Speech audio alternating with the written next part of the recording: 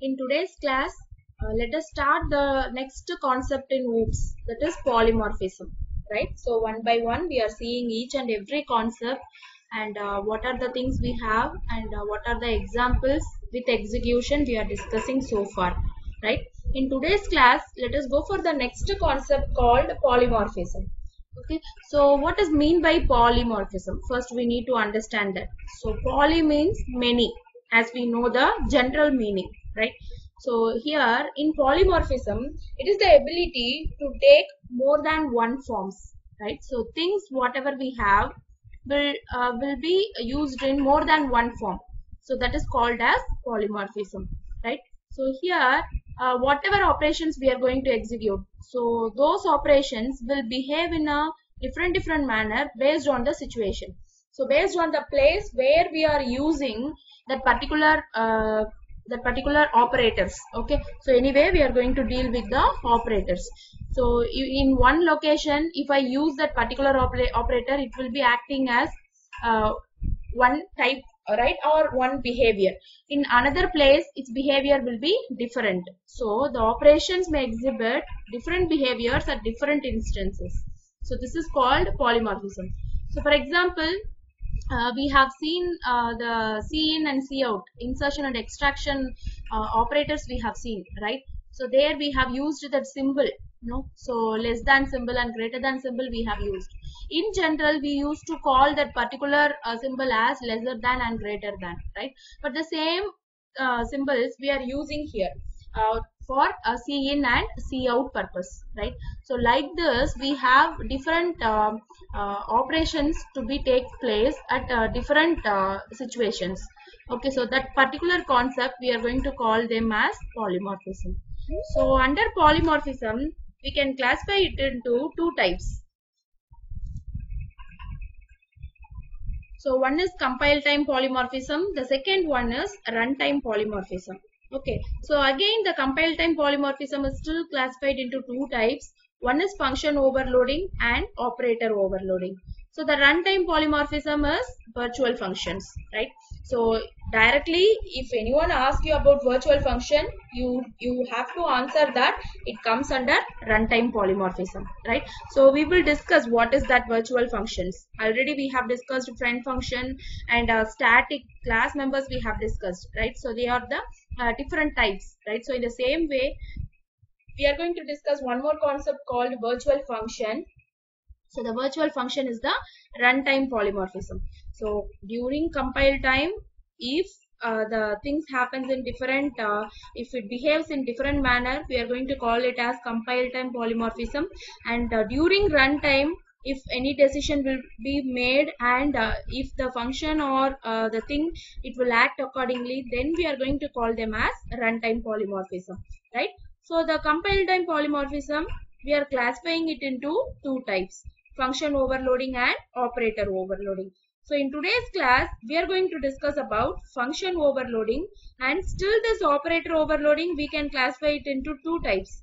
One is unary operator overloading and binary operator overloading. Okay so let us cover function overloading in today's class and a small introduction about operator overloading right?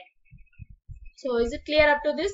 So polymorphism the ability to take more than one forms and different operations will behave uh, differently at different situations. So that is what we are going to call them as polymorphism and we have two types one is compile time the second one is runtime right? So if it is compile time we will be having two concepts called function overloading and operator overloading. If it is run runtime polymorphism we are going to call them as virtual functions right? So first let us start with function overloading so already uh, you would have uh, uh, known about this function overloading concept in C programming, right? So even in C++ also, uh, in the beginning we have discussed about constructor overloading, right? Since the constructor is same, uh, it is a member function, uh, we have passed different types of arguments and we have overloaded the same constructor again and again right? So the same concept we are going to discuss here. But here uh, we will be discussing uh, this function overloading is different from c programming with respect to the syntax right? So function overloading the same function name will be used with a different argument list and uh, inside the argument we are going to show the difference in terms of number of arguments the type of arguments what we have supplied right? And even the function can have different types of return type right? So it may have the same type and same number of arguments within it but the return type of the particular function may be different right? So based on that we can show the difference where we can overload the same function again and again right? So that is what i have given here. So single function name with a different argument list will be used to perform different operations. Right? So here uh, the operation will be will depend based on the argument list what we have passed. Right? In the function call. So this is called as function overloading. And then the function will be invoked how the function will be invoked when we are calling it from the main program so the function will be invoked based on the number and type of argument what we have passed. It won't be invoked based on the function name. Why? Because a single class member may have um, more number of uh, uh, functions, right? Uh, so this it may have same function name, but the type of arguments may be different. So here, based on the type and number of arguments, we are going to show the difference. We are going to invoke the particular function. Okay. So how we are going to declare it? So it is just like the normal function declaration. But we are going to show the difference with respect to the type of argument and the number of argument. So here for sample I have uh, declared four functions. Right. So the first function is of integer data type and the function name is add and within this add function I have passed two arguments right? So these two arguments are of what type? These two arguments are of integer type right? So the first function will return integer type of data and it has two arguments. They are also of integer type. The second argument which i have declared is again the same return type right so the second argument is all uh, the second function is also of integer type the function name is same add but inside the argument list how many number of arguments I have? Three arguments I have. All the three arguments are of integer type. So whenever a function is called, if it has two arguments of integer type, it will be mapped to the first function. If it has three arguments of integer type, it will be mapped to the second function, right? Then next we have the third function declaration. So here the third function, its return type is double and the function name is same add. And within this we have two arguments right? These two arguments are of uh, data type double right? And the fourth uh, function which i have declared is double add. And one argument is of integer type the second argument is of double right? So this is how we can show the difference but the same function name can be used right? So one thing which we are we have to notice here is the function name should be same in all the cases. The return type for the function name will be different or if it is same also we need to show the difference with number of arguments or the type of arguments right so uh, with uh, just like the first function which i have declared i can go for one more function right? Float add float a comma float b. Like that also i can go right? So these are the different variations how we can invoke the function right? So using the same function name more than once is called as function overloading. Okay. So here the different operations will be performed at different instances. The function even though the function name is same we are going to show the difference with respect to the number and type of arguments which we have used right? So next uh, let us see the function call right? So the first function call is add of 5 comma 10 right? So how many arguments i have passed here? Can anyone answer me? How many arguments i have passed ma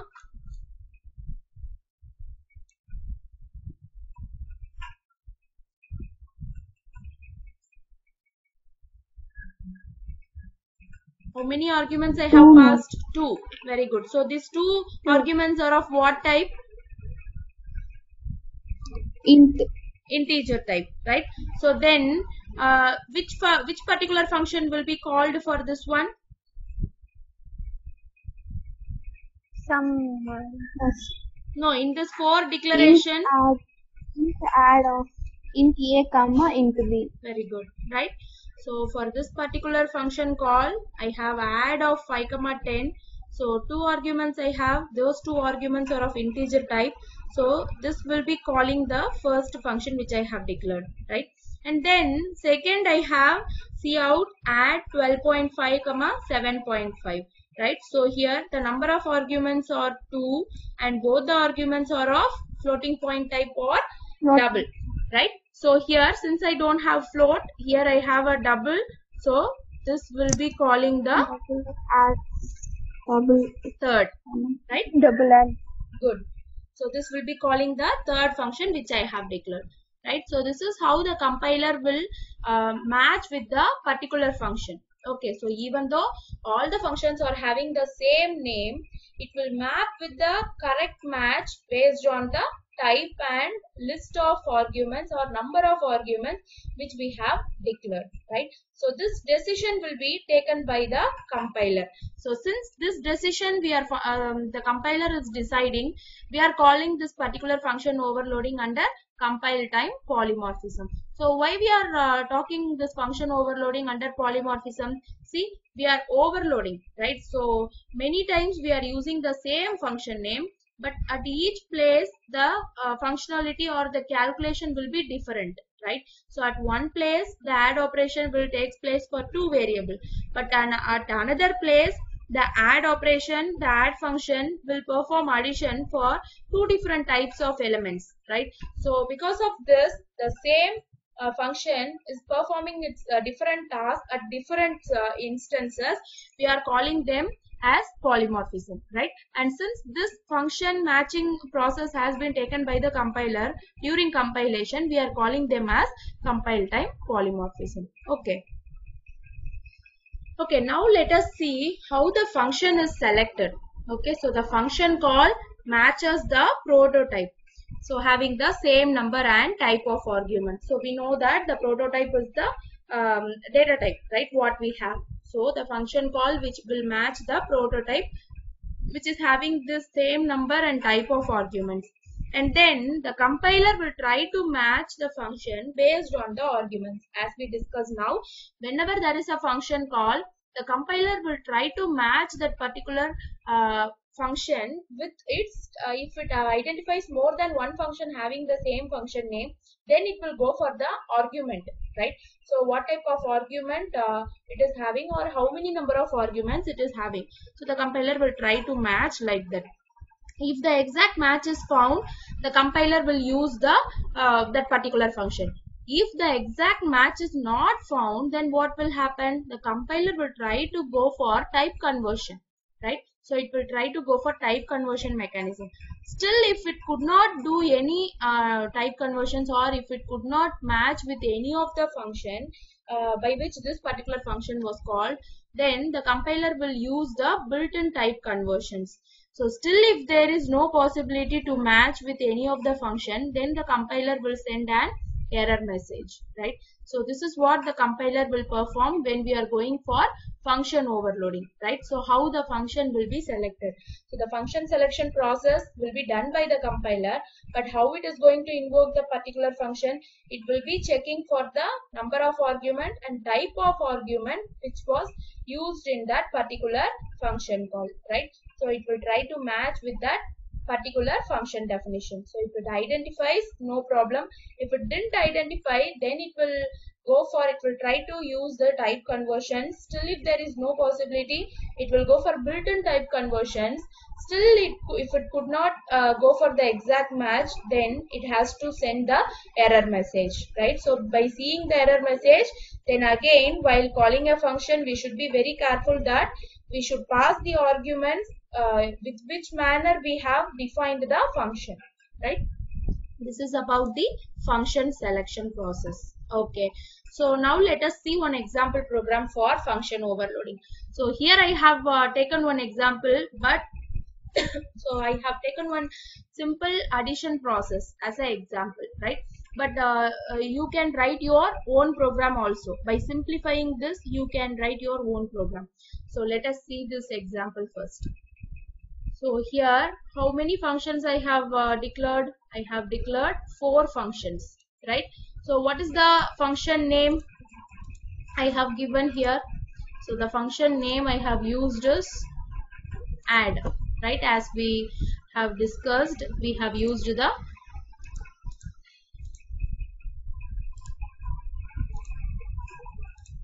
okay so i have used the add function right one two three and four so i have used four functions and the first function is of integer type. Second function is of int. Third one is double. Fourth one is float. Okay. So how many arguments i have passed? For first function i have passed two arguments. So let me uh, assume this first function as f1 okay. And let me take the second function as f2 so just like a equation number i'm giving the function number. Okay. And for the third function let me give the number as 3 and fourth function let me take it as f4 okay. So these are the four functions i have declared. And i have a main program. So here i didn't follow any class concept. Okay. So just i want to show you about function overloading. Simply i'm using it. Right? So inside the main program uh, i have uh, given cout add. Okay. So i'm calling all the functions so and then since it is a c++ program we may keep any blocks anywhere in the program. Okay so there is no restriction. If it is c programming everything we will be keeping inside the main program. So before a function uh, is called it has to be defined right? So that particular concept also we have. So here there is no restriction. Only the main program. Inside that we will be calling all the functions. So first let us see the function definition part. So the first function int add of it has two arguments of integer type right? So i am defining this. So addition of two integers is return a plus b. Since it is integer type i am returning the integer type of result. Okay. And the second function is defined here. The second function is also of integer type but how many arguments it has? It has three arguments right so the three argument again i'm adding and then I have to go for return. Okay. The third function f3, it is of double, right? The data type is double and inside that it has two arguments of double type, right? And then finally I have float. Okay. So for float also I have two arguments of floating point type. So these are the functions I have defined. So inside the main program, you can see that in cout directly I am calling the add function. So here itself I am passing the values. Okay, so these are the actual arguments which I am passing. So already in function definition I have given the formal parameters. So these are the actual parameters. So add of 2 comma 3. So what will happen? The compiler will will try to match this particular function with all the functions, right? It will check with all the functions. So it first it will check for number and type of argument. So the number of arguments are 2, right? So already in the function declaration part, function f1, f3 and f4 are having two arguments. Then what type of value here the user has passed? The user has passed integer type of value. So it will check for the integer type of argument. So function f1 is having the integer type of argument, right? So then what will happen? It will match with this particular function f1 and it will directly go for the function definition part of f1. And then second we have add of 1, 2, 3, right? So totally three arguments are passed here and all the three arguments are of integer type. So it will try to match with the function declaration, right? Functions, uh, exact function. So function f2 will match with this. So it will go for the corresponding function definition. Okay. And third we have 2.555 and 7.333, right? So these two are of float or double we can say, right? So since another function call we have there itself uh, implicitly we are specifying it is of floating point type, right? So we are mapping this particular function with function f3.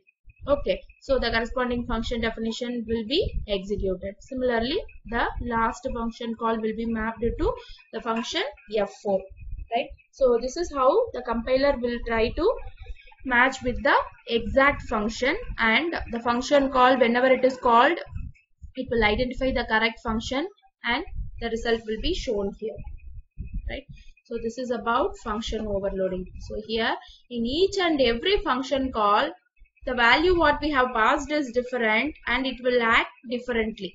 Okay so and uh, this decision will be made during compile time itself. So hence we are calling them as compile time polymorphism. Okay so this is about function overloading